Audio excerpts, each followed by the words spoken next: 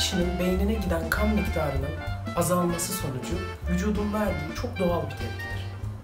Düşünelim, beyne giden kan miktarı azalıyor ve vücut beyne kan gönderebilmek için beynimizi kalbimizle eş hizaya getiriyor. Bu şekilde beynimiz yeteri miktarda kanlanıyor ve belirli bir süre geçtikten sonra kişi kendine geliyor. Çok basit bir örnek vermek istiyorum size.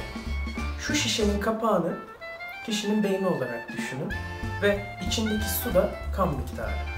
Eğer beyne giden kan miktarı azalırsa yani basınç düşerse vücut diyor ki devril gördüğünüz gibi beyne kan gitmeye başladı. Hastanın ayaklarını yaklaşık 30 santim kadar yukarı kaldırırsanız beyne giden kan miktarı artar ve yaklaşık 5-10 dakika içerisinde hastanın durumu ciddi değilse kendine gelecektir.